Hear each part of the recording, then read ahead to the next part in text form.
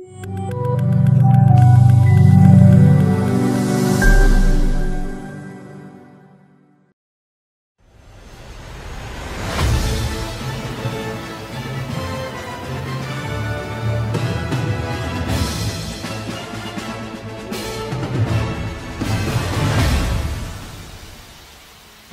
Black Panther has been the protector of Wakanda for generations. So I ask you, as both warrior and king, how long do you think you can keep? या Black Panther 2 में होगी नए characters की भरमार कौन है Neymar क्या है नेमर की ओरिजिन नमस्कार दर्शकों, मैं करती हूँ आप सभी का स्वागत बॉलीवुड स्टूडियोज पर। आप सभी तो जानते ही हैं कि अक्सर फ़िल्में ऐसे बनती हैं कि हीरो और विलन आपस में लड़ते रहते हैं। हीरो की एक पूरी टीम होती है विलन की पूरी टीम होती है और दोनों आपस में लड़ झगड़ के हीरो जीत जाता है और उसके बाद विलन हार जाता है।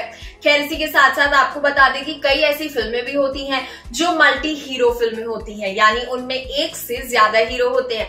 दो, तीन, चार, पाँच ऐसी फ़िल्मों के बहुत अच्छे एग्जाम्पल्स हमें हॉलीवुड में देखने को मिल जाते हैं और इसका द बेस्ट एग्ज़ाम्पल है एवेंजर्स एवेंजर्स की सारी फ़िल्में मल्टी हीरो होती हैं और उसमें काफ़ी सारे सुपर हीरोज हमें देखने को मिल जाते हैं। इसी के साथ साथ आपको बता दें Marvel production house Marvel cinematic production house की अगर हम बात करें तो इस हाउस में हमें कई सारी फ़िल्में देखने को मिलती हैं। वो सोलो भी होती हैं, जैसे स्पाइडरमैन आयरन मैन और काफ़ी सारे सुपर हीरोज की सोलो फ़िल्में भी होती हैं। वहीं ये प्रोडक्शन हाउस ऐसी फ़िल्में भी बनाता है जो मल्टी हीरो होती है, जिनमें काफ़ी सारे हीरोज होते हैं। और अगर मैं आप सबसे ऐसी किसी फ़िल्म का नाम पूछूँ तो आपके दिमाग में एक ही नाम आएगा एवेंजर्स जो 2012 में रिलीज़ हुई थी। वो मूवी एक मूवी नहीं, एक इमोशन है। इसी के साथ मैं आपको ये भी बता दूँ कि हमें एवेंजर्स में काफ़ी सारे सुपर हीरोज देखने को मिले थे और मार्वल सिनेमैटिक प्रोडक्शन हाउस जो है वो धीरे धीरे बहुत ज़्यादा इवॉल्व भी कर रहा है। इतना इवॉल्व कर रहा है कि इस प्रोडक्शन हाउस में हमें काफ़ी सारे चेंजेस भी देखने को मिले और इसी के साथ साथ अब हमें एक नई फ़िल्म में काफ़ी सारे कैरेक्टर्स देखने को मिल सकते हैं। अब बात करूँ वकांडा फॉर की ही तो इस फ़िल्म में ये भी फाइनल नहीं हुआ कि ब्लैक पैंथर का रोल कौन निभाएगा। लेकिन इस फ़िल्म में नए नए कैरेक्टर्स भरते ही जा रहे हैं। जैसे डॉक्टर डूम या फिर आयरन हार्ट ऐसे काफ़ी सारे कैरेक्टर्स फ़िल्म में इंक्लूड होते ही जा रहे हैं। इसी के साथ साथ आपको एक और दिलचस्प बात बताती हूँ कि हमें फ़िल्म में एक नया कैरेक्टर देखने को मिल सकता है नेमर आपने इसका नाम तो सुना ही होगा, नहीं सुना तो जाके पुरानी कॉमिक्स पढ़िए ना। मार्वल सिनेमैटिक यूनिवर्स की पुरानी कॉमिक्स में इनका ज़िक्र ज़रूर मिल जाएगा।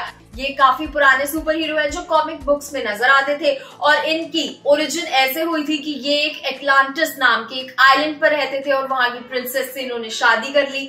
वहाँ के राजा बन गए और उसी के साथ साथ सुपर हीरो भी बन गए। फ़िल्म में इनके साथ एक अलग स्ट्रैटेजी अपनाई जाएगी। फ़िल्म में इन्हें पहले एंटर कराया जाएगा विलन के रूप में। उसके बाद धीरे धीरे इन्हें सुपर हीरो के रूप में बदल दिया जाएगा। खैर, आप क्या सोचते हैं इस फ़िल्म के बारे में और पूरे कॉन्सेप्ट के बारे में हमें कमेंट सेक्शन में ज़रूर बताएँ। आज की वीडियो में बस इतना ही। मैं लेती हूँ आप सबसे विदा, फिर मिलेंगे यही इसी चैनल पर। हमारे वीडियो को लाइक करें शेयर करें चैनल को सब्सक्राइब करना बिल्कुल ना भूलें।